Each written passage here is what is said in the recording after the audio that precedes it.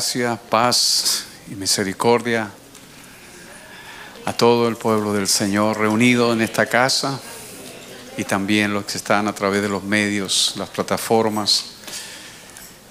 Que el Señor esta noche sea muy glorificado y honrado en todas las expresiones que hemos tenido para con Él. Sean júbilo, aplausos, danza, humillación, cánticos, alabanza, reconocimiento, ofrendas, ofrendas. Que el Señor reciba toda gloria. Siempre.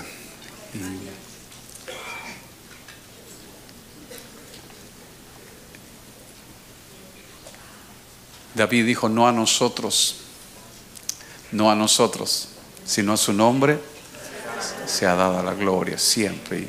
Yo no sé si alguna vez usted se preguntó, se preguntó, ¿por qué a mí, Señor? ¿Por qué yo? Si hay tanta gente mejor que nosotros, ¿verdad? Yo un día pensaba, parece que yo le estoy informando a Dios que hay gente mejor que yo. Dios ya lo sabía desde antes, ¿verdad? Estamos agradecidos que Dios nos haya considerado.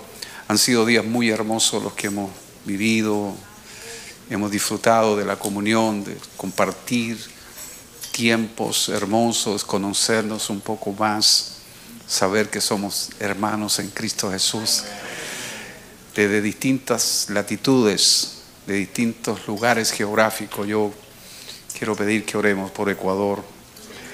Está una situación bien compleja, nuestra querida hermana del Ecuador.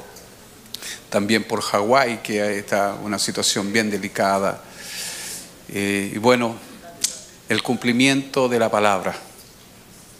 No hay bondad en el corazón del hombre. Todo en el hombre está afectado, dañado. Por eso que necesitamos que Dios cambiara nuestros corazones y nos diera un corazón nuevo. Y con ese corazón nuevo, amar a Dios, honrarlo, porque el otro corazón está dañado, no hay nada bueno en ese corazón.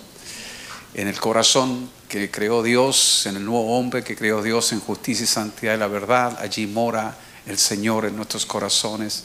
Y con ese corazón debemos servir a Dios, honrarlo, adorarlo, cantarlo, servirlo eh, porque de ese corazón mana la vida, la vida del eterno, la vida de Dios, la vida que no se puede comprar. Estaba leyendo una ilustración mientras estudiaba esta mañana de un hijo que estaba sentado en el lecho de su padre, de, que estaba muriendo, y él le pregunta, Padre, ¿tiene algún deseo que yo pueda cumplir? El padre, ya sabiendo que le quedan minutos contados, le dice, por favor, hijo mío, léeme otra vez la carta a los Efesios. El joven comienza a leerle, llega hasta el capítulo 2, cuando termina el capítulo 2, el padre parte. Y esos dos capítulos Pablo habla de las bendiciones espirituales en Cristo de, la revelación del Espíritu de sabiduría, de los salvos por gracia. Qué hermoso es que alguien, al partir, alguien le esté leyendo las Escrituras, sabiendo que cierra sus ojos aquí, pero los abre delante del Eterno, ¿verdad? Qué bueno es que siempre en la mañana, cuando abramos nuestros ojos, el Señor traiga a la memoria su palabra.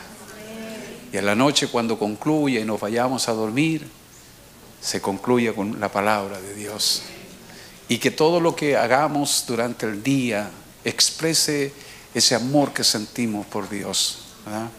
Lo que sea que hagamos durante el día, siempre lo hagámoslo como dice Romano, todo lo que el hombre haga, hágalo para la gloria de Dios. ¿sí? Así que que Dios nos dé tal corazón esta noche que podamos recibir su palabra. Traiga de vuelta su mente al culto, ¿verdad? desde acá usted no puede arreglar nada en su casa, porque a veces estamos, pero no estamos. Suele pasar, me ha pasado a mí, no a ustedes, pero a mí me ha pasado, que a veces en el culto me voy, me voy por ahí a dar una vuelta y de repente vuelvo al culto.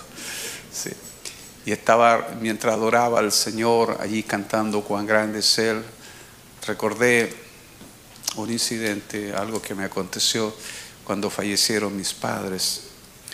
Yo hice el servicio de mis padres y canté justamente el cuán grande es Él. yo creo de todo corazón que Dios es más grande de lo que nosotros podemos expresar, de lo que las palabras pueden expresar o manifestar. Dios es mucho más. Nos quedamos cortos. Ni el mejor de los poetas puede describir la grandeza de nuestro Dios. Pero aquello que se nos ha revelado, vivámoslo. No importa si es mucho o poco, pero lo que Dios nos ha revelado, vivámoslo, porque si lo vivimos, eso le trae gloria al Señor. Muy bien. No solo debemos experimentar el poder de Dios, que es hermoso experimentarlo. Cuando Dios sana a alguien, cuando Dios salva a alguien. Yo, cuando pasaron a dar la ofrenda acá, a entregar la ofrenda, vi al joven que el, el jueves pasado estuvo aquí reconciliándose con el Señor con sus fonos puestos y me dio mucho gozo, porque está en una batalla, está en una lucha pero oremos para que el Señor haga su obra completa en él, lo liberte absoluta y totalmente. Hijo, sé que no, eh, no sabes inglés, eh, perdón español, pero sabes inglés, pero quiero decirte que estás en el mejor lugar. Estás en el mejor lugar. Este es el mejor lugar que Dios tenía preparado para ti. Es el mejor lugar. ¿sí? Así es que estás experimentando el poder de Dios rompiendo las cadenas y las ataduras. Pero también hay algo que nosotros tenemos que aprender, no solo a disfrutar del poder de Dios, sino también de todas las riquezas de Cristo. Disfrutarlas. Disfrutar. Enjoy. Disfrutarlas. El apreciarlas, el valorarlas, el saber que tenemos tanta riqueza en nuestro Dios. A veces vivimos como pobres siendo ricos. Si dice que Él se empobreció para que nosotros fuésemos enriquecidos, pero tristemente esa palabra se ha dañado pensando simplemente en temas económicos. Está intoxicado tristemente el Evangelio con el tema de la economía. Mire, llega un minuto llega un minuto en que no va a necesitar que se te pida, vas a pasar solo. Porque cuando se te revela que todo es de Dios, no tienes problema de dar si se lo estás dando a Él.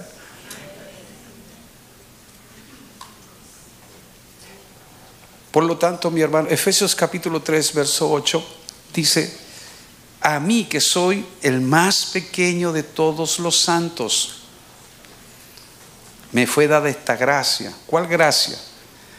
De anunciar, de proclamar, de, declarar. ¿Declarar qué entre los gentiles? El Evangelio, las buenas noticias de las insondables, de las incontables, las inescrutables riquezas de Cristo. Tristemente el, el, sistema, el mundo entiende el término riqueza en la abundancia de bienes materiales. Pero desde un punto de vista bíblico, escritural, la abundancia más bien tiene que ver con bienes espirituales, con cosas que Dios nos ha dado. Mire, no hay dinero que pueda pagar que un hombre esté sano. Muere gente riquísima con todos sus con todo el dinero que tiene no pudo comprar salud. Y la salud es una riqueza de Cristo para nosotros. ¿Cuántos están contentos de estar sanos? Estamos felices de estar sanos, ¿verdad? Aunque luchamos con algunas dificultades, ¿cuántos están felices y agradecidos de poder entender lo que leen? ¿Cuántos están contentos de poder ver, de escuchar, de tener un lugar donde dormir, de poder disfrutar lo que come, de poder caminar por las calles, disfrutar del aire. Cuánta riqueza hay en nuestro Dios que nos ha concedido por gracia. El poder entender las letras de lo que estamos cantando. El poder dialogar con alguien y que ese alguien entienda lo que tú le estás hablando. A veces, hermanos queridos, nosotros vamos a las cosas grandes, pero Dios también está en las cosas pequeñas. Ah, un momento de mi vida que estaba pasando una situación un poco compleja y estaba... Yo soy bien llorón, ustedes no van a descubrir América en el mapa, ¿verdad? Yo, lloro porque yo me emociono con Dios. Me emociono. ¿Tú quieres verme llorar? Háblame de Dios. Háblame de su grandeza, háblame de su amor, háblame de su gracia, háblame de su favor. Y tú me vas a ver llorar. No me cuentes historias tristes, porque yo sabré que estoy llorando de emoción. Pero a mí me emociona Dios esa, esa ternura de Dios, de tenernos, de tenernos paciencia, hermano. Nosotros deberíamos estar muertos todos, hermano. Sin embargo, Dios, que rico en misericordia, le complació traernos este día hasta este lugar para que juntos le adoremos, para que hagamos una alabanza al Señor que se lo merece. Entonces, eh, yo, yo estaba en ese momento eh, iba, estaba en la ciudad de Viña del Mar. La ciudad de Viña del Mar queda a la orilla, como su nombre lo dice, a la orilla del mar. Yo soy originario de esa ciudad. Y, entonces estaba mirando una puesta de sol, muy hermosa por supuesto, muy linda. Y el Señor me, me, dijo esto, tú estás mirando mucho las puestas de sol. Y yo le dije, Señor, no entiendo. Las puestas de sol son románticas. ¿O no? No, Claro que son románticas. Allí donde los hombres enamoramos a las mujeres bajo una puesta de sol, ¿cierto? Les decimos, mi amor, ¿te gusta el sol? Te lo regalo, tú eres más hermosa que el sol. Nos ponemos románticos. Pero el Señor no estaba eh, llamándome la atención y retándome, sino me decía esto, estás mirando mucho la puesta del sol porque allí se termina el día. Yo quiero que mañana te levantes muy temprano, antes que amanezca, y ve la salida del sol. Porque así son cada mañana como se renuevan mis misericordias para ti.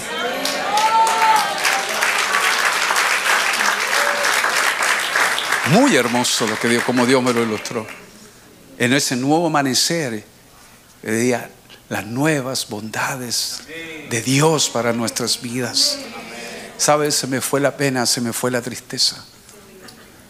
Simplemente con un acto tan sencillo como hacerte mirar algo que todos los días está, pero no lo vemos porque no lo disfrutamos, porque andamos demasiado ocupados con nuestra mente en demasiadas cosas. Y esa es una riqueza, ver cada día un nuevo día. Ver un atardecer o un anochecer, disfrutar nuestros hijos, nuestras familias. Disfrutar todas las cosas, aunque te parezcan pequeñas. Pero sabes, cuando las empiezas a ver, empiezas a darle gracias a Dios por tener la oportunidad de verla. Disfrutar los niños, disfrutar los bebés, cuando están pequeños, disfrutar la, grandeza. Yo siempre miro los, el dedo meñique de un bebé, hermano, en esa cosita tan pequeña ya hay una uña. Yo digo, Dios mío, qué extraordinario la grandeza del Creador.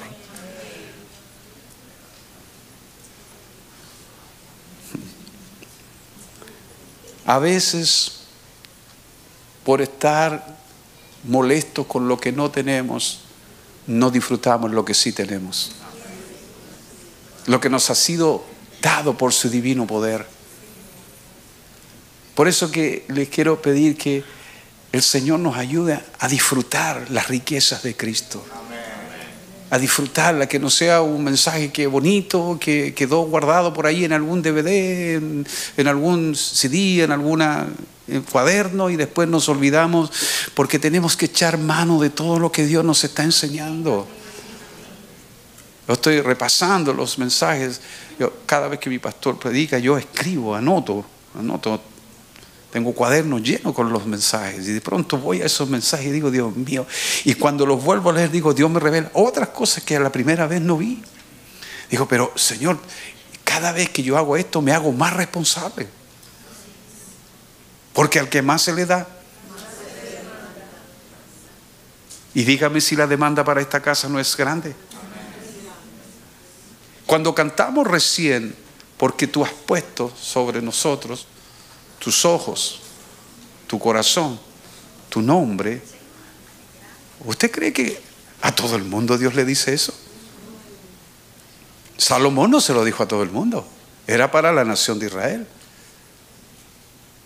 Él había ofrecido delante de Dios un sacrificio. Y entonces Dios a él se vuelve y profetiza. Entonces uno dice, Señor, ¿por qué? ¿Qué viste en nosotros? no hay nada bueno en mí. Y entonces la gracia la que se manifiesta, es el favor inmerecido de Dios.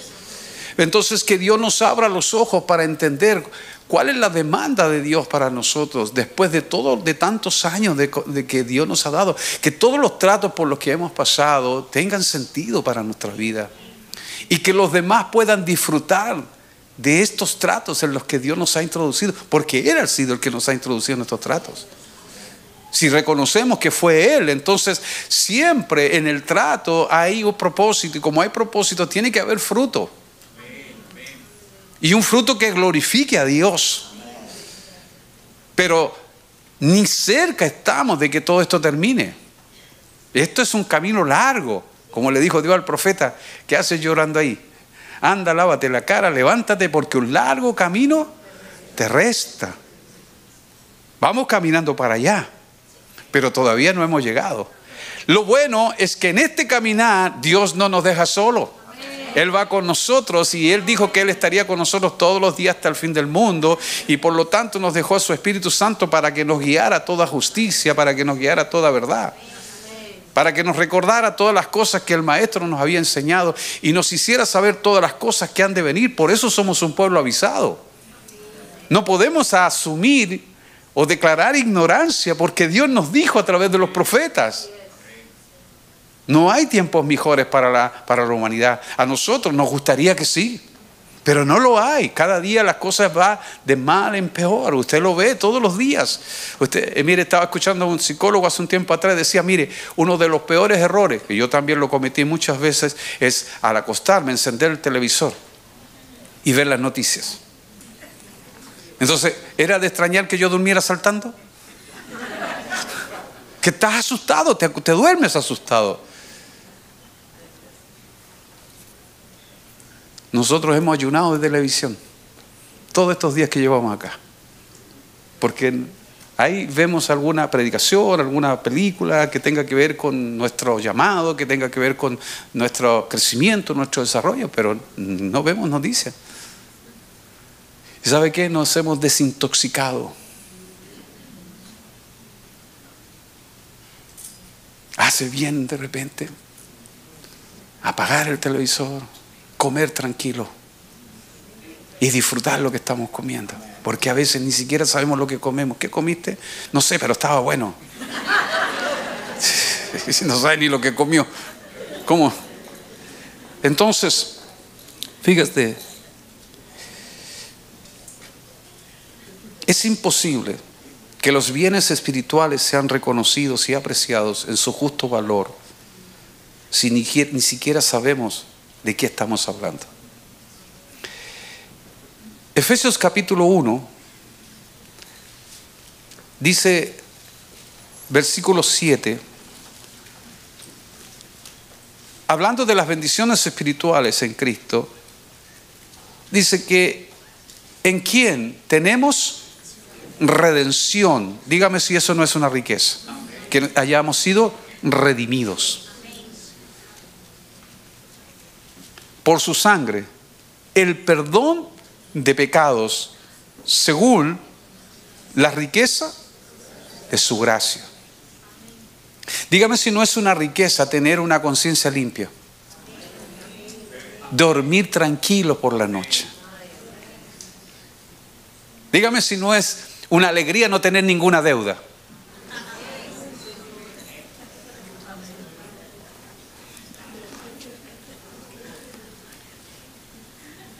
Dormir tranquilo por la noche sabiendo que Dios vela nuestros sueños, guarda nuestros corazones. La escritura dice que el Señor guardará en completa calma a todo aquel en cuyo pensamiento en Él persevera, porque en Él ha confiado. El saber que nuestro Dios tiene todo bajo dominio, bajo autoridad, que todas las cosas le están sujetas, que nada se escapa del control de Dios, más allá de cómo se llame.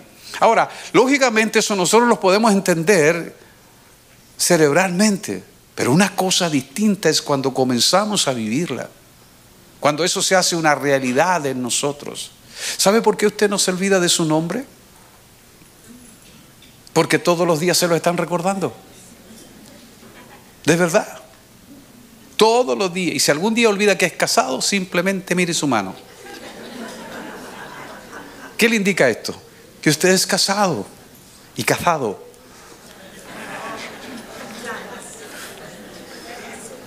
Simplemente eso. Por eso el, mandamiento era que eh, eh, los padres debían enseñarle la palabra a los hijos cuando se levantaran, cuando se acostaran, cuando fueran de camino, tenían que escribirla en, las puertas, ¿cierto? Y ponerla en su corazón.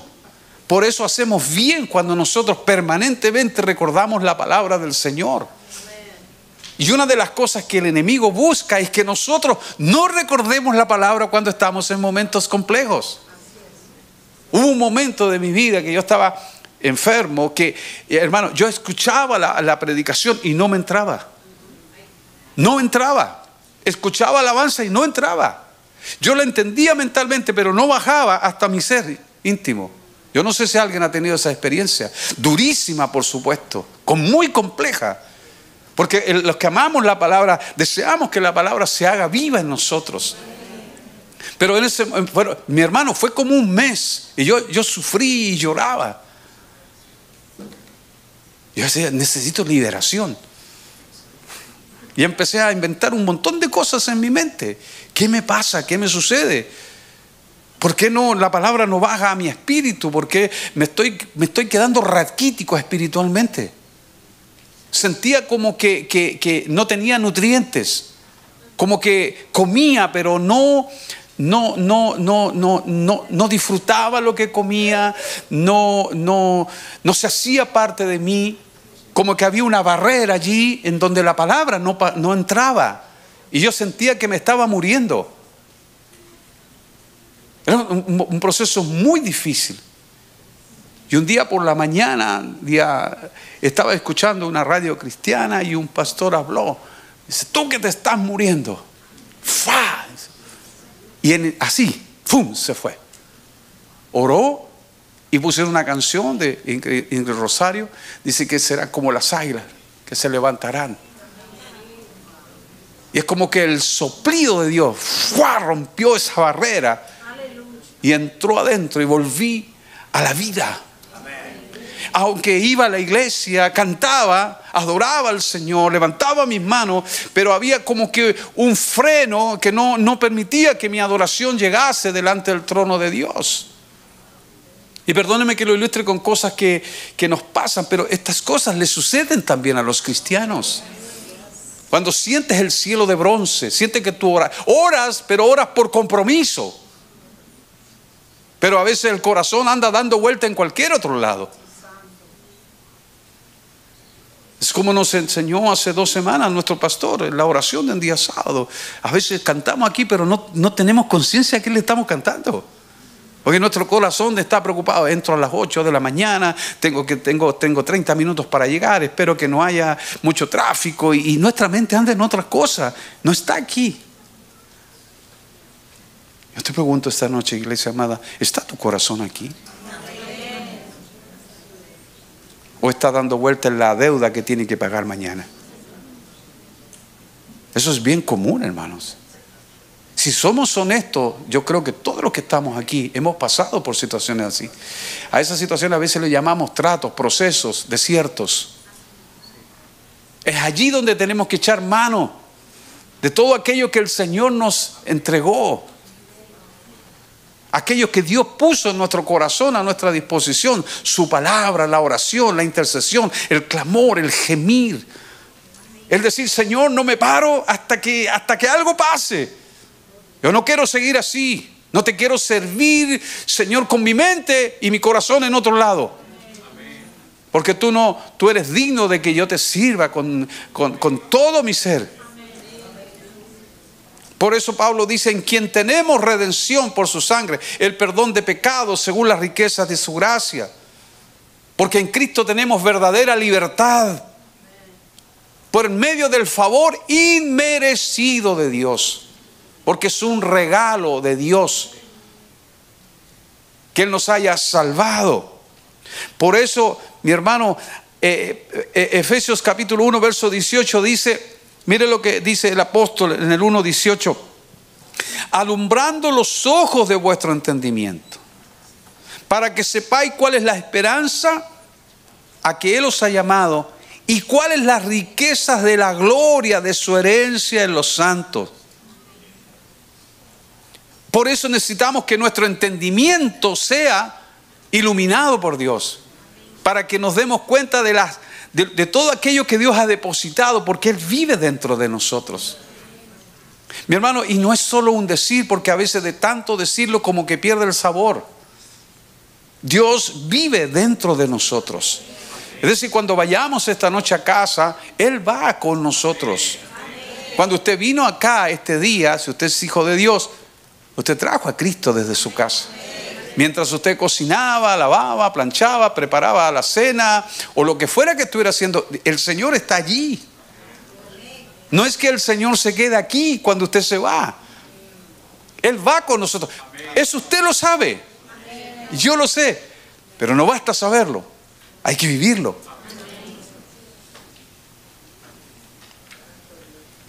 Entonces, fíjese, hay una riqueza en la gloria de Cristo. Hay riqueza también en el pleno conocimiento de Cristo. Colosenses capítulo 2. Colosenses capítulo 2. Verso 2 y 3. Colosenses 2, 2 y 3. Para que sean consolados sus corazones, unidos en amor, hasta alcanzar todas las riquezas. Mire, las riquezas del pleno entendimiento, a fin de conocer el misterio de Dios el Padre y de Cristo, en quien están escondidos todos los tesoros de la sabiduría y del conocimiento. Es decir, el conocimiento del Señor es una riqueza que, podemos para nosotros y también para compartir con alguien cuando está enfrentando situaciones complejas. Dígame si no necesitamos sabiduría para aconsejar. Porque la gente, por ejemplo, en nosotros los ministros, confía que usted le va a dar un buen, un buen consejo. Pero si nos equivocamos, por eso siempre el consejo tiene que ser el consejo divino. No lo que yo creo, no lo que a mí me parece, sino lo que dice la escritura, su palabra. Para eso el Señor nos dejó su palabra. Eso es otra riqueza de Cristo, su palabra. De la cual tenemos que, vuelvo y repito, a echar mano. Cuando formamos a nuestros hijos con su palabra. Cuando hacemos un devocional, su palabra. Cuando tenemos que decidir, nos arrodillamos y le pedimos, Señor, ilumíname. ¿Cómo hemos de decidir frente a esta situación? No importa si es pequeño o si es grande, porque como le decimos al Señor, Señor, y Jesús hizo un reclamo y dijo, me llamáis Señor, Señor, y bien decís porque lo soy, pero no hacéis lo que yo os digo, hacen lo que tú quieres. Si yo hago lo que yo quiero, ¿cómo puedo decirle a Dios con tanta libertad que es mi Señor?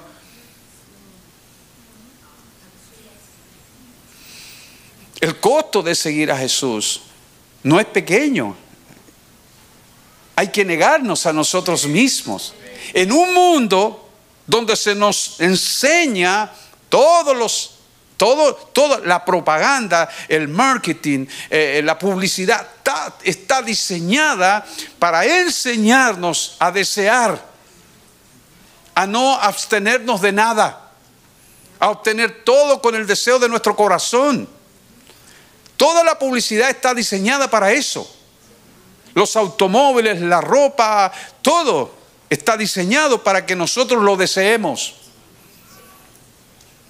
Negarnos constantemente a eso, hmm, ¿tú crees que todo el mundo lo entiende? No, mi querido hermano, no todo el mundo lo entiende. Por eso requerimos más que nunca este pleno conocimiento del Señor para tomar decisiones basadas en los propósitos eternos de Dios y no en los deseos temporales de la carne.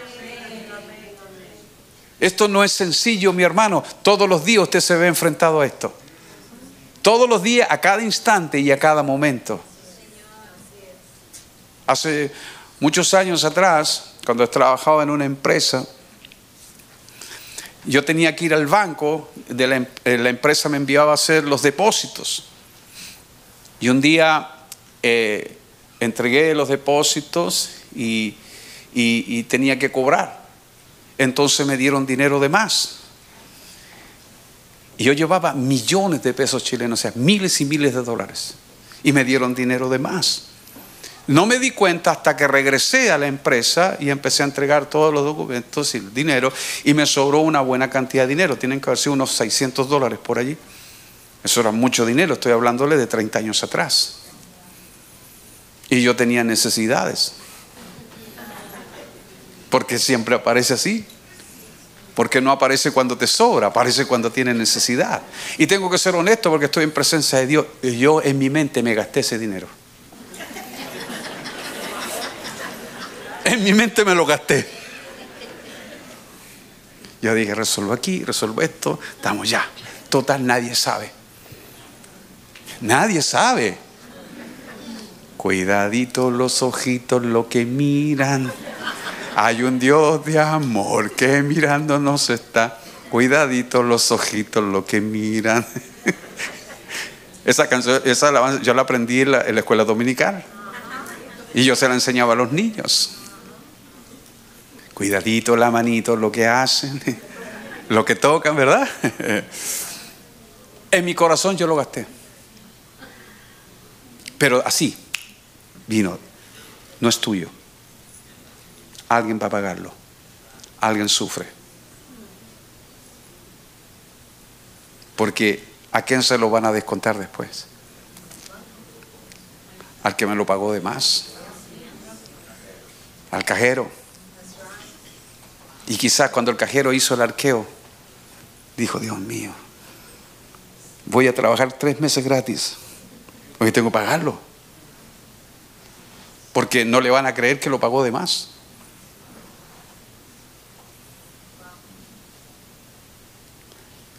Y tú sabes cuando el Espíritu te convence que algo está malo, está malo.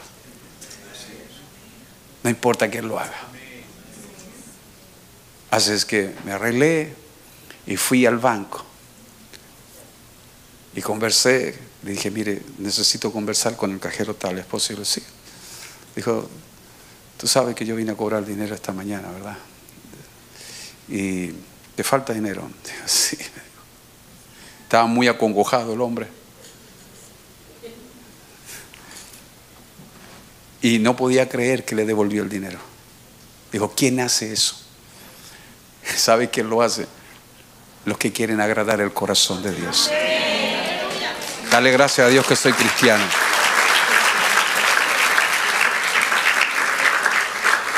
Pero me pasó al revés. Yo perdí dinero. Pero parece que el que lo encontró no era cristiano. Nunca volvió. Ay, Señor. ¿Pasan esas cosas o no pasan?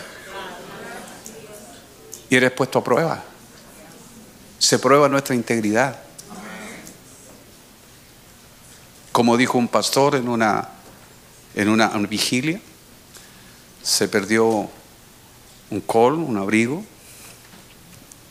y nadie sabía dónde estaba el abrigo y el pastor se paró, mire, aquí son todos santos, pero el col no aparece.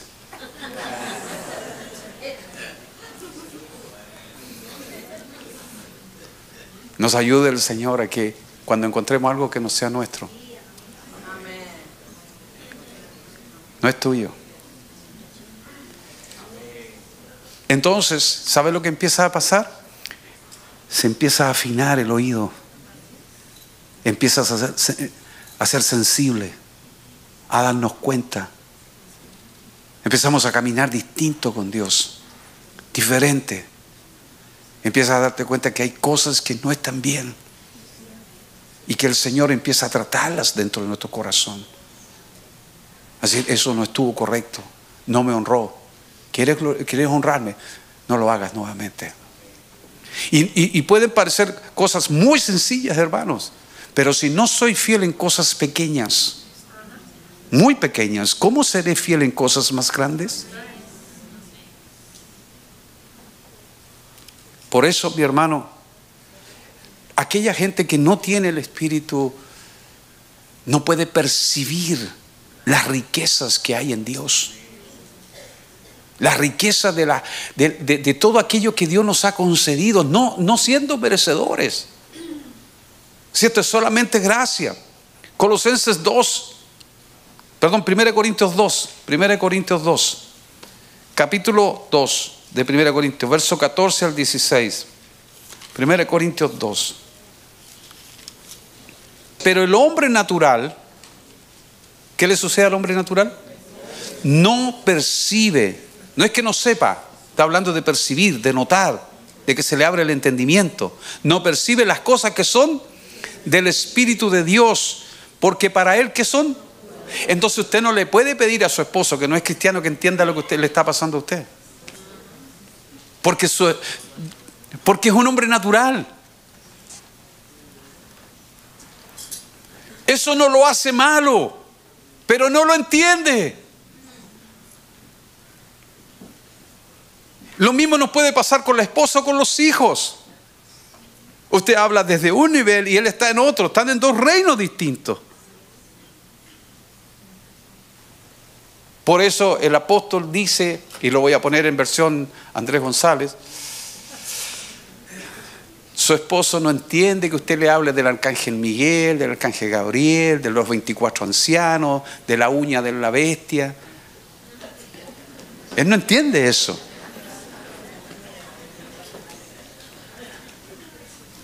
No sabe quién es el anticristo. nosotros de repente le hablamos al esposo un idioma espiritual, pero él quiere entiende que la camisa esté planchada, que la comida esté a tiempo. La escritura dice que por la buena conducta se pueden alcanzar los maridos, ¿sí o no? Mi amor, no voy a cocinar hoy día porque vamos todos a ayunar. Sí, espere, espere un poquito, espere un poquito. Usted es espiritual, usted ayunará. Yo.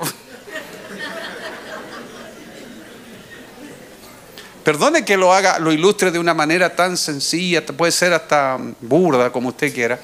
Pero a veces nuestro, y está bien que lo hablemos, pero eso lo va a entender su hermano que tiene el mismo espíritu que usted. Eso no lo va a entender otra persona. Si, su jefe es cristiano, ¿no es cierto? Y usted dice, jefe, yo no pude venir a trabajar porque me quedé ah, eh, orando. Espera un poquito. Está bien, tú eres cristiano, amamos a Dios, pero llega temprano y trabaja. No, anoche no dormí porque estuve toda la noche orando, así que hoy día no voy a trabajar. No, no, no, hermano, no, no. No es así. No usemos al Señor de esa manera. Muy por el contrario, dice la Escritura que no debemos trabajar como para, para el ojo humano. Trabajamos para Dios. Y eso le da testimonio a la persona de que somos verdaderos y genuinos hijos de Dios. Los alumnos no deben copiar. ¿Sabes lo que es copiar, verdad? Aquí, aquí se habla de copiar también. ¿Sí? Igualito que en América Latina.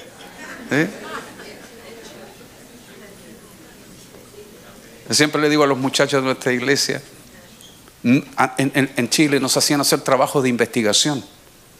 ¿A ustedes hicieron hacer trabajo de investigación? ¿Dónde iba usted a hacer su trabajo de investigación? A la biblioteca. ¿Y qué es lo que tenía que hacer? Tomar un lápiz y escribir. Hoy es copy-paste. ¿Sí? ¿Cómo se Copy, copyright. Copy paste, ¿sí? Ok. Copiar, pegar. El trabajo de investigación de nuestros jóvenes. No tiene nada de investigación. Le robaste la idea a otro. Pastor, me dijo un muchacho un día, pastor, pero, a ver, a ver, a ver, pastor, usted siempre me habla de la Biblia, usted siempre me habla de la Biblia. Ok, ya está bien, yo, usted es el pastor, está bien, yo, le acepto que usted es el pastor, pero en ninguna parte de la Biblia dice que no hay que copiar. no, se la saben por libro los muchachos, ¿verdad? No sé si se entiende esa expresión, sabérsela por libro. ¿eh? Se la saben todas. Pero la Biblia, sí es cierto, dijo, en ninguna parte dice no copiarás, pero dice no robarás. Le estás robando la información a otro. Le estás robando el sacrificio a otro. En nuestros países, en América Latina, casi no hay nada original. Todo es copia de todo.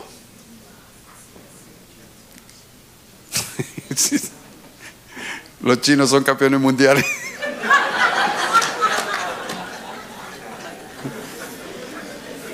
De verdad. Todo es copia, todo es copia. Todo es copia. Tú caminas por las calles de nuestras naciones y la gente vendiendo en las calles, todo copia. Bueno, en Nueva York también, yo lo traía en Manhattan y habían ahí gente vendiendo Louis Vuitton. Louis Vuitton. 80 dólares una maleta. ¿Tú crees que vale 80 dólares una, una, una, de verdad una cartera vale Louis Vuitton 80 dólares? Bueno, no borren eso después, hágale, bórrenlo porque no, no le vamos a hacer propaganda a eso, ¿verdad? Pero todo es copia, tú te das cuenta. Y sabe que usted puede y yo podemos reírnos a mandíbula batiente de eso, pero también hay copia del Evangelio. Han abaratado la gracia. Con esfuerzo humano, con sacrificio humano. Y no echamos mano de toda la riqueza que Cristo ha puesto en nuestras vidas. Por eso, para este hombre natural, las cosas de Dios son locuras y no las puede entender. ¿Por qué no las puede entender? Pablo da la respuesta, dice, porque se han de discernir espiritualmente. Por eso, siga por favor. En cambio, el espiritual, ¿qué hace el espiritual? Juzga todas las cosas, pero él no es juzgado de nadie. Pero el asunto está aquí que hay que ser espiritual. Ese es el conflicto. No, yo, los espirituales. No, no, espérate. Primero veamos si somos espirituales. Y ahí ya podemos entrar en toda una enseñanza. ¿Qué significa ser realmente espiritual? Porque uno puede venir, cantar por 10, 20 años y seguir siendo carnal. Su corazón está lejos de Dios. Pero mire otra riqueza de Cristo. Eh, Hebreos 11, 26. Hebreos 11, 26. Mire, mire este texto. Cuando yo lo leí dije, wow, Señor.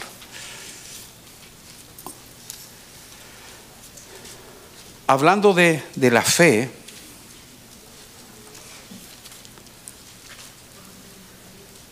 y hablando de Moisés, dice que Moisés, teniendo por mayores, ¿qué cosa? Riquezas. ¿Qué cosa? el vituperio de Cristo que los tesoros de los egipcios porque tenían puesta la mirada en el galardón. Es decir, a Moisés no se le permitió vacilar, escogiendo el oprobio de sufrir con su pueblo, que disfrutar del placer temporal del pecado. Porque una cosa que debemos entender el, enemigo siempre te dice lo que vas a disfrutar, pero nunca te dice el precio que vas a pagar. El costo del disfrute momentáneo.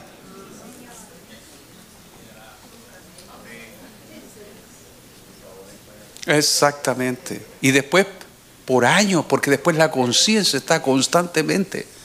Hiciste aquello, hiciste esto. Y la conciencia es como un martillo que golpea día y noche no nos deja dormir. Muchas veces la conciencia nos despierta de noche y no dormimos tranquilos, porque hubo algo que no hicimos correctamente. o hicimos algo que no glorificó el nombre de Dios. Por eso esta es una lucha constante y permanente, donde no nos debemos confiar de nosotros mismos jamás, jamás, jamás. No hay que darle espacios a la carne.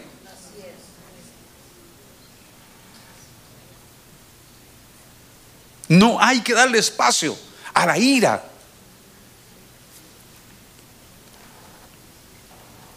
Por lo tanto, su fe hizo que pusiera y fijara sus ojos en Cristo, en el galardón, no en los placeres temporales, vuelvo y repito, por eso dice placeres temporales. ¿Qué le habla de temporal? De algo momentáneo, de un tiempecito corto.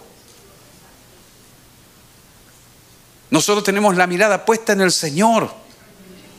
Romanos, capítulo 9, verso 23. Romanos 9, 23.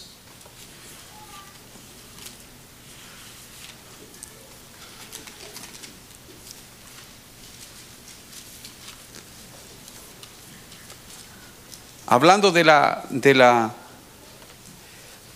de la elección de Israel, dice, y para hacer notorias las riquezas de su gloria, las mostró para los, con los vasos de misericordia que él preparó de antemano para la gloria.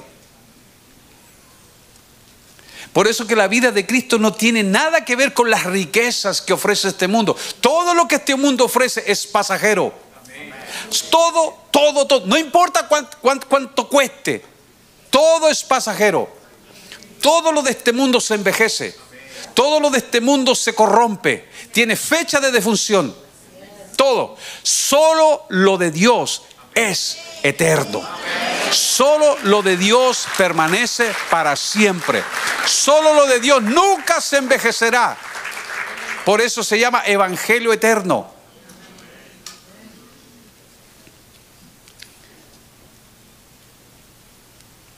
Colosenses 1.27. Colosenses 1.27.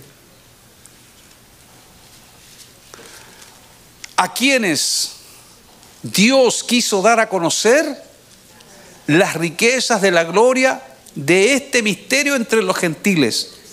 ¿Cuál es el misterio? Que es Cristo en mí. Dígalo, Cristo en mí. Esa es una esperanza es la gloria. Cristo en mí, la esperanza de gloria. Cristo en mí. Yo me voy a mi casa y Cristo se va conmigo esta noche.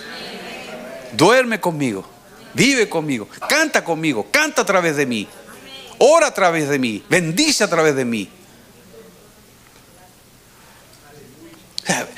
Hermano, es tan extraordinario entender que Cristo viva mientras usted prepara la comida, mientras cocina, mientras eh, barre, mientras ordena las habitaciones de sus bendiciones ahí en casa. Él está ahí dentro de usted. A veces de tanto repetirlo se nos olvida. Mientras están algunos allá arriba en el rufo trabajando, en el roofing, en el cielo, en el techo, en el, ¿sí? Ahí está Dios con usted.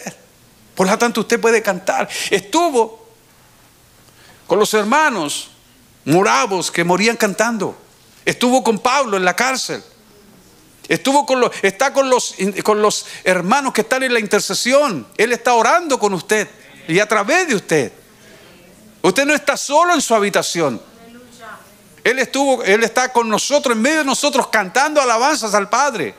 Eso dice el libro de los Hebreos, en medio de, de la congregación te alabaré. Hermoso que el Señor se digne a estar aquí levantando su adoración al Padre, bendiciendo al Padre. Es una riqueza.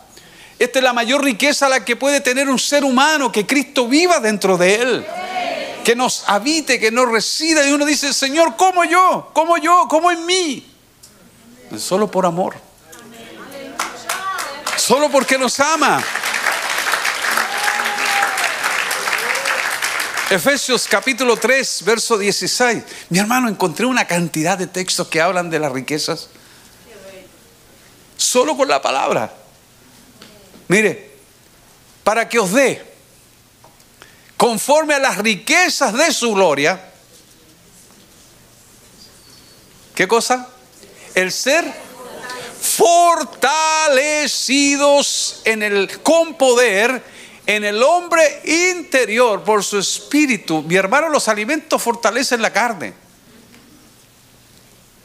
Pero las riquezas inigualables de Cristo fortalecen el hombre interior. Por fuera nos desgastamos, sí o no. Por fuera nos agotamos, sí o no. Por fuera se nos van a empezar a notar. Todo lo que no queremos que se note por el paso de la edad pero por dentro somos renovados, fortalecidos en este hombre interior que creó Dios, que necesita ser nutrido, alimentado, sustentado. Todos los días de nuestra vida, de la misma manera que nosotros comemos tres, cuatro o cinco veces al día, nosotros tenemos que ser nutridos espiritualmente todos los días. Necesitamos todas las proteínas, los nutrientes que, que el Señor tiene para nosotros. Hmm. Mi hermano, no solo debemos disfrutar, tenemos que aprender a regocijarnos en el Señor y en el poder de su fuerza. Como le he dicho muchas veces, mi mamá me mandaba a comprar y decía, y cambia la cara. Vaya contento porque se va a ir igual, enojado o contento, pero igual va a ir.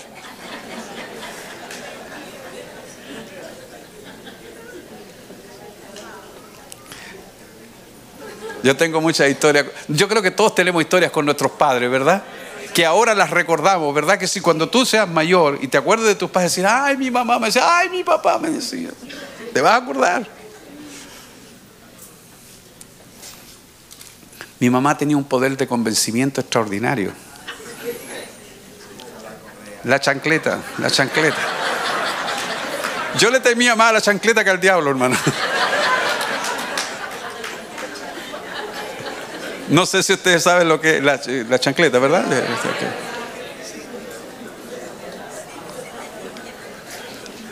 Y mi mamá era de este porte. Así. 1 Corintios 1, 5 al 9. 1 Corintios 1, 5 al 9.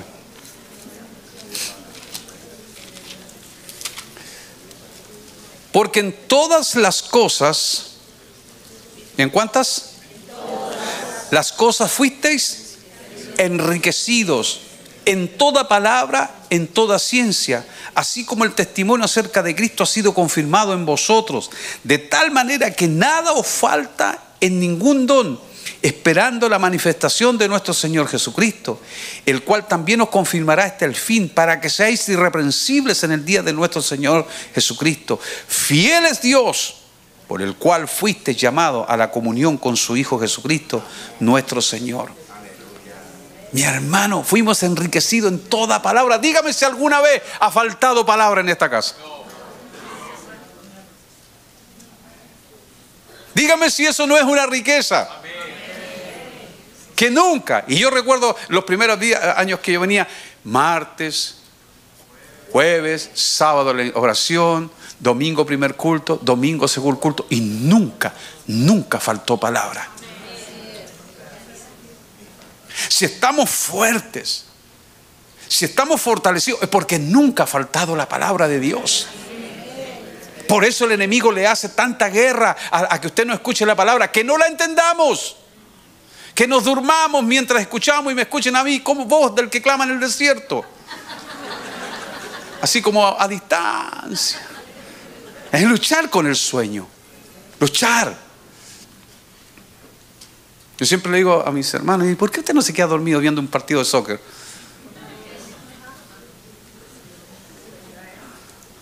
¿Por qué no se queda dormido viendo un partido de béisbol?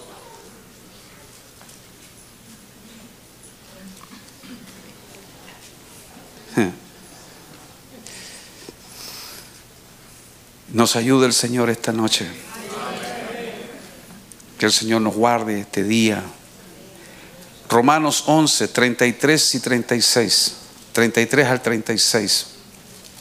Mire.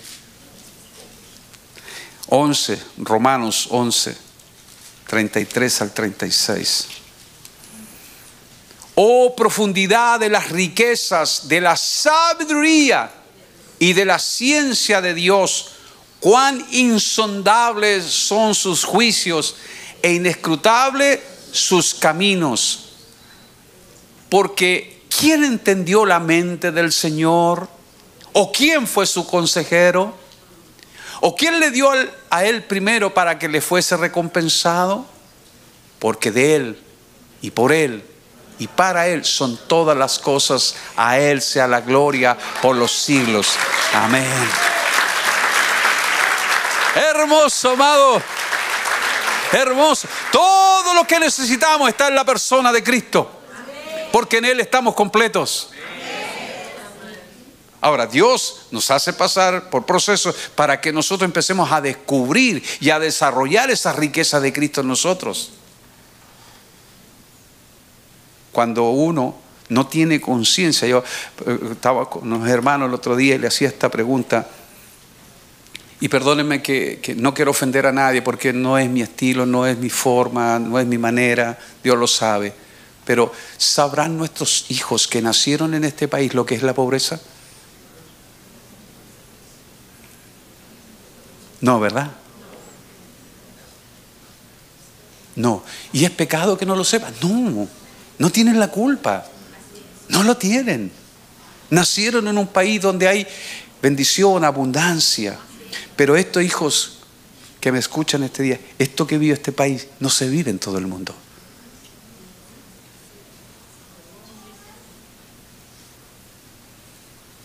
Nosotros tenemos hermanos misioneros en la India, donde hay una llave de agua, una, para mil personas.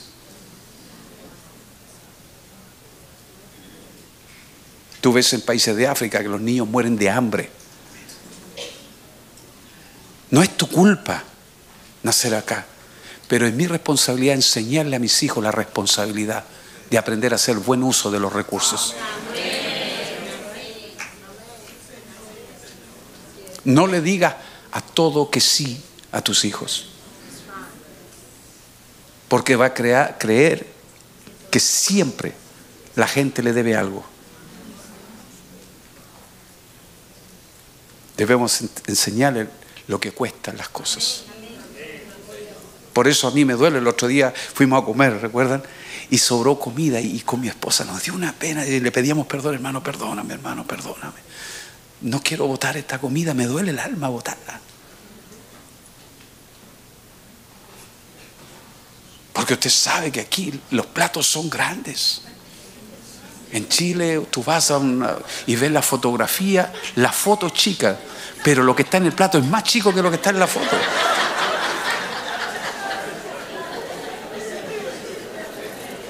Aquí la foto es grande y lo que hay en el plato es más grande. Yo si hubiera sabido, pedimos un plato para los dos y ya. No me estoy poniendo religioso, estoy hablando verdades. Comer es una riqueza hoy día. Somos responsables. Que Dios nos ayude. Saque de nuestro corazón todo aquello que no lo honre a Él. Efesios 2.4 dice, Efesios 2.4 dice así, pero Dios, que es rico en misericordia, ¿en qué es rico Dios? Ahí tiene otra gracia, ahí tiene otra riqueza la gracia, la misericordia, por causa del gran amor con que nos amó. Romanos 2.4. Romanos 2.4. O menospreciáis las riquezas de su benignidad, paciencia y longanimidad, ignorando que su benignidad te guía al arrepentimiento. ¡Wow! 2.7 de Efesios. 2.7 de Efesios. Para mostrar en los siglos venideros las abundantes riquezas de su gracia en su bondad para con nosotros en Cristo Jesús. Y si usted después busque, busque la palabra riquezas en Cristo, usted va a encontrar 40, 50 textos rápidamente de las riquezas de Cristo. ¿Cuántas de ellas estamos disfrutando? ¿Sabe lo que significa invocar el nombre de Dios? Los antiguos sabían lo que era invocar el nombre de Dios. Era una riqueza, la riqueza de su perdón, la riqueza de haber sido llamados y puestos en el ministerio. A todos los que, los que estamos aquí, todos deberíamos leer y releer la honra del ministerio. Leerla y releerla, tomar apuntes. Porque es una honra muy elevada ser un ministro de Dios. El poder, el poder pararnos aquí y suministrar la alabanza. Por eso el pastor nos ha estado hablando tanto del corazón, que el corazón, que cuando Dios ve el corazón va a ver la ofrenda y la va a aceptar. Porque el deseo nuestro es que Dios lo acepte. No es que quede solo en el ofrendero, sino que suban para memoria de Dios. Recuerden que hubo un hombre que daba ofrendas, daba, daba limosnas y Dios le dio una orden, un ángel dijo, desciende Y dile que sus limonas han subido delante de él para memoria.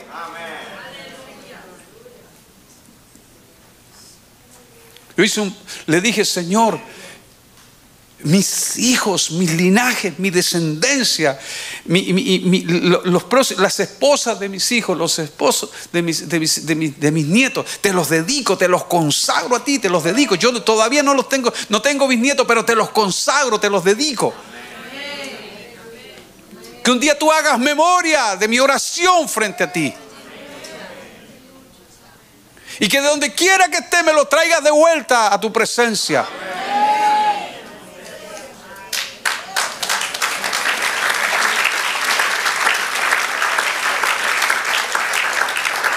Filipenses 4:19 dice, Filipenses 4:19, mi Dios proveerá a todas vuestras necesidades conforme a sus riquezas en gloria en Cristo Jesús.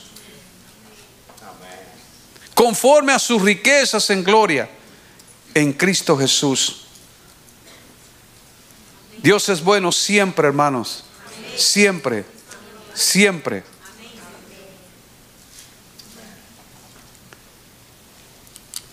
Yo quisiera pedirle al, pastor Juan Muriel que pudiera venir, por favor. ¿Está por ahí? O el tecladista, ¿sí? ¿sí? Amén. Quiero concluir esta noche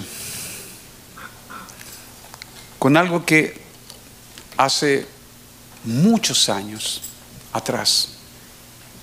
Hay muchos más hermanos que quisiera compartir. Gracias, Pastor Juan. Yo escuché esto, no es de mi autoría. Y que reciba el crédito a aquel que escribió esto.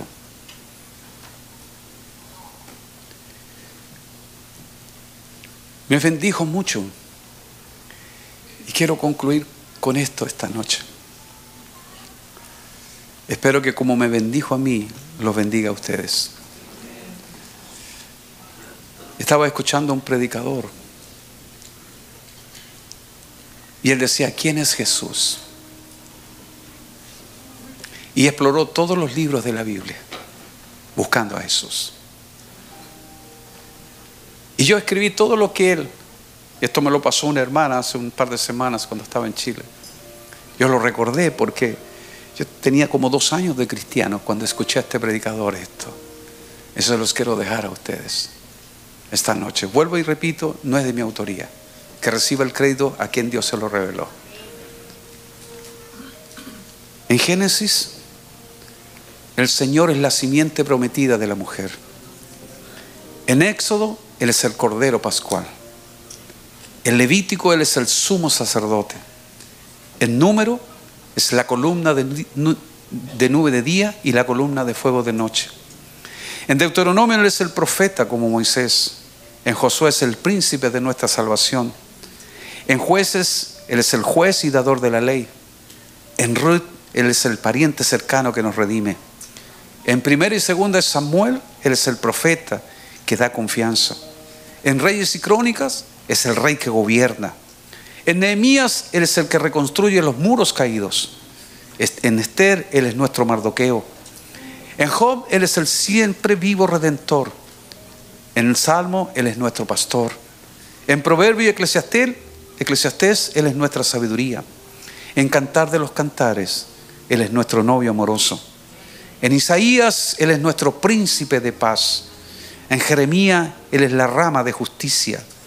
En Lamentaciones es el profeta que clama. En Ezequiel es el hombre maravilloso de los cuatro rostros. En Daniel es el cuarto hombre en el horno de fuego. En Oseas es el esposo fiel. En Joel Él es el que bautiza en el Espíritu Santo y fuego. En Amós es el que prende fuego. En Abdías Él es poderoso para salvar. En Jonás Él es el gran misionero en el extranjero.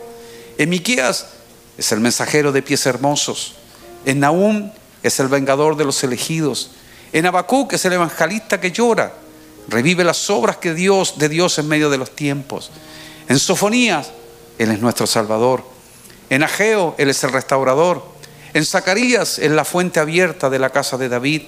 En Malaquías, Él es el sol de justicia. En Mateo es el rey. En Marco es el siervo. En Lucas es el hijo de hombre, sintiendo lo que el hombre siente. En Juan es el Hijo de Dios. En Hechos es el Salvador del mundo. En Romano es la justicia de Dios. En Primera Corintio Él es la roca. En Segunda Corintio Él es, es el triunfador dando victoria. En Gálatas Él es nuestra libertad. En Efesios es la cabeza de la iglesia. En Filipenses es nuestro regocijo y nuestro gozo. En Colosenses es plenitud. En Primera y Segunda Tesanolicense Él es nuestra esperanza. En Primera de Timoteo Él es nuestra fe. En 2 Timoteo Él es la estabilidad y la seguridad. En Filemón es el benefactor. En Tito Él es, verdad. En Hebreo Él es la perfección y el sumo sacerdote. En Santiago es el poder de la fe. En 1 de Pedro Él es el ejemplo. En 2 de Pedro es la pureza. En 1 de Juan es la vida. En 2 de Juan es el quien exhorta. En 3 de Juan es la motivación. En Judas es el fundamento de fe. Apocalipsis es tu rey y el que viene. Es el primero y el postrero, el principio y el fin, el encargado de la creación, el arquitecto del universo, el que siempre es, el que siempre serás. Él fue herido y nos dio sanidad, fue perseguido y nos dio libertad, estuvo muerto y nos trajo vida. Él ha resucitado y trae poder, Él reina y trae paz, Él es el león de la tribu de Judá, Él es el alfa y el omega y su gloria llena todo el universo. Alabado sea el Señor. Bendito sea Dios.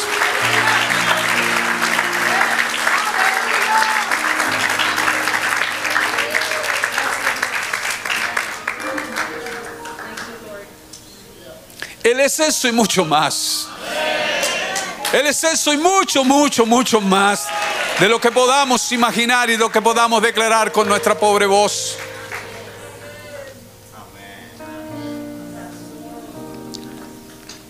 ¿Y quién es para mí? Yo me pongo de rodillas como Pedro y digo, Señor, apártate de mí que soy un hombre pecador. Solo tu gracia, solo tu favor, solo tu generosidad me tienen aquí.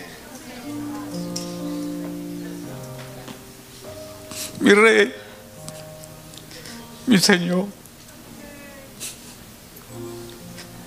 Nunca, nunca, nunca. Yo crea que es por mi causa. Que soy yo. Si no seas tú siempre honrado. Mi Señor, mi Rey, mi Dios Todopoderoso, que un día me miraste, Señor, con ojos de amor y extendiste tu mano cuando me vistes muerto en mis delitos y pecados. Y soplaste tu espíritu y me dijiste, vive. Yo quiero honrarte, Señor, lo que quede de mi vida hasta el último suspiro de mi ser. Quiero vivir para agradar tu corazón. Dame la honra, Señor, de adorarte. Dame la honra, Señor, de servirte. Dame la honra, Señor, de respirar para ti, vivir para ti.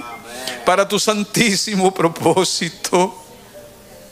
Mi vida está en tus manos, mis tiempos, la de mi esposa, de mis hijos, de mis nietos, de mis bisnietos y hasta mil generaciones. Tu bondad me acompañe, Señor. No me apartes de ti. No quites de mí tu Santo Espíritu. Guíame por la senda de justicia, por amor a tu nombre. Guárdame, Señor, en todos los días de mi vida, en todos mis caminos. Que nunca engañe, defraude. Que nunca te robe la gloria a ti, mi Señor. Que siempre te atribuyamos a ti todo honor. Gracias, Padre, gracias. Porque por Jesucristo somos, Señor, tus hijos. Señor, yo sé quién soy y tú sabes quién soy. Pero también yo sé quién tú eres, de acuerdo a lo que tú me has mostrado en tu generosidad. Gracias por amarnos y darme la honra de estar en esta casa, Señor, compartiendo con tus hijos la generosidad de tu amor y de tu bondad y las inescrutables riquezas. Es eso y mucho más. Que tu nombre siempre, siempre reciba honor y alabanza. Que nunca nos olvidemos, Señor. Gracias por poner tu rostro, tus ojos y tu corazón sobre esta casa. Gracias, Señor. Guárdanos en estos, al iniciar estos 30 años. Los 30 del sacerdocio. Haznos caminar con temor reverente. Que nuestro corazón siempre esté alineado con el tuyo. No permitas que nuestro corazón se desvíe a cosas vanas. No permitas que nuestro ser, Señor, decida por lo que ven nuestros ojos naturales. Que prefiramos los vituperios de Cristo ante que los placeres temporales del pecado. Que nos guardes, Señor. Te entregamos estos próximos años el año 30 te lo entregamos a ti, Señor. Enséñanos a ser sacerdotes, a caminar, Señor, como lo hizo este con Moisés, que fue fiel en toda la casa de Dios. Levanta obreros conforme a tu corazón. Levanta hombres y mujeres conforme a tu corazón. Levanta intercesores conforme a tu corazón. Levanta hombres y mujeres que trabajen con nuestros jóvenes, con nuestros niños, con nuestros ancianos que lleven el Evangelio a todas las naciones de la tierra. Danos tu corazón, Señor. Danos tu corazón. Y que cuando hayamos hecho la obra que nos mandaste hacer, digamos, siervos inútiles somos, porque lo que debíamos hacer, eso hicimos, Señor. Gracias, Padre. No hay nadie como tú, Señor. Magnífico poderoso. Gracias por Jesucristo. Porque sin Él nada de esto sería posible. Apreciamos, Señor, el don de Cristo en nosotros. Recibe gloria, recibe honor y recibe alabanza todos los días, Señor, de nuestra vida. En el nombre del Padre del Hijo, del Espíritu Santo, a quien pertenece la gloria, en honor y la alabanza. Guarda a nuestro pastor, Señor, siempre, siempre, siempre. Tenlo en el hueco de tu mano, siempre, en el secreto, hablándonos la palabra. Háblale la palabra para que seamos alimentados, sustentados, nutridos. Guarda a su amada, a sus hijos, sus nietos. Guarda a nuestros ancianos. Guarda a los ancianos de esta casa, al gobierno de esta casa, los obreros, todos los que ejercen alguna labor en esta casa. Que seamos ejemplo, Señor, para nuestros hermanos. Que seamos ejemplo, ejemplo, ejemplo para ellos. Que nuestras palabras, Señor, sean refrendadas por nuestros hechos. Que nuestros hechos hablen de que te conocemos a ti, Señor amado. Gracias, Padre. Gracias por permitirme estar un año más en esta casa sean guardados mis amados hermanos, desde el mayor hasta el más pequeño, desde el más antiguo hasta el más nuevo. Te lo dedicamos a ti, Señor. Gracias, gracias. En el nombre del Padre, del Hijo y del Espíritu Santo. Amén y amén.